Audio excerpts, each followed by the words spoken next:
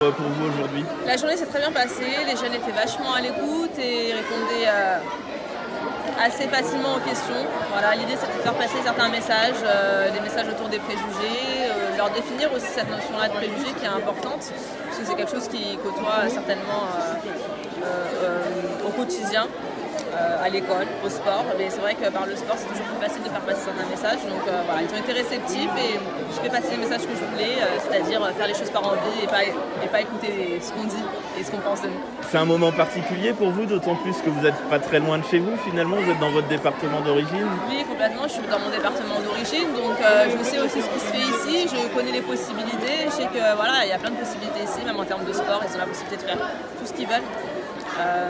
et puis il y a aussi énormément de mixité, des gens qui viennent un peu de tous les milieux, donc euh, c'est important, c'est des messages importants à faire passer pour savoir que voilà, vous, êtes tous différents, mais vous pouvez accéder absolument à tout ce que vous voulez. Maintenant donnez-vous donnez les moyens d'eux et puis, et puis trouvez un peu ce qui vous fait vibrer finalement.